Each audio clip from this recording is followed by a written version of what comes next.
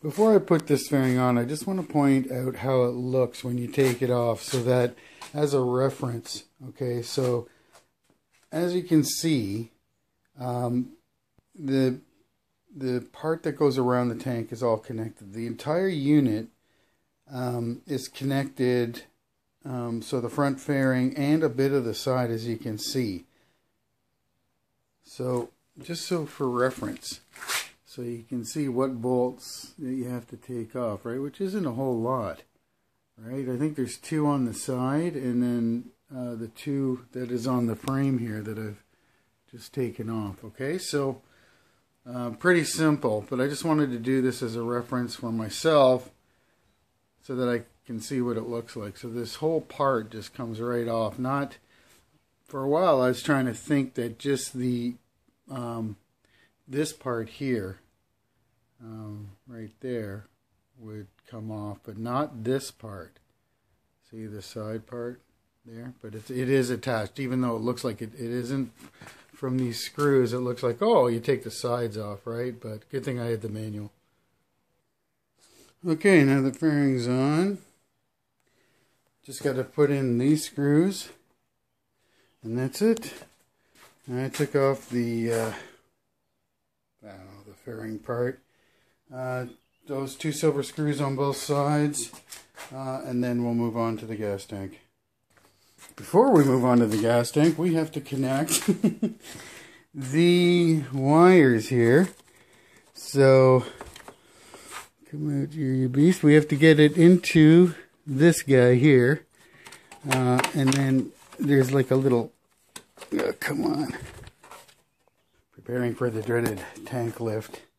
So, um, there's that blue guy. I have this rag preventing it from, um, see, there's the blue tab. And you actually, these clip in um, back and forth. But in order to, in order to take it off, you squeeze right here. Right? See how that works? So when you have it on, um, uh, you just squeeze it and it pops off. It takes a little bit of jigging right? And then here's the uh, two pipes. Now, it doesn't show on the video, but this guy is definitely fatter. So that's where the fat pipe goes.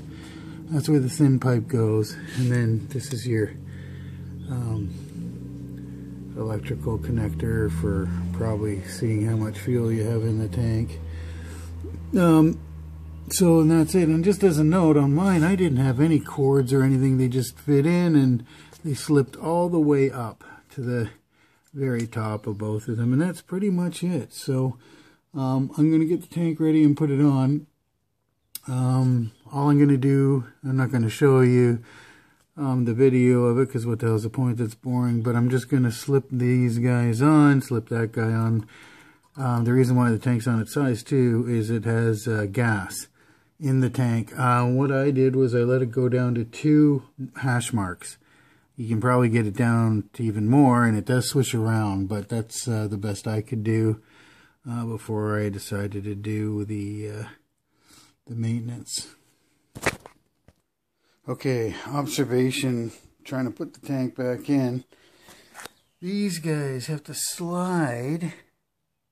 See those guys have to slide into these guys. Um, I don't know if you can see these uh, right here. See those guys? So when you put it in, you have to lift the tank and make sure that they slide. Don't pay attention to all those wires. Um, they're part of my farkling. But this guy here, right, it's a, like a rubber stopper. And uh, I was having problems getting the tank in, and now I know why. So there you go. Okay, kind of a cool little trick that they uh, have in the manual is, first of all, um, this is the bottom bracket that holds the gas tank.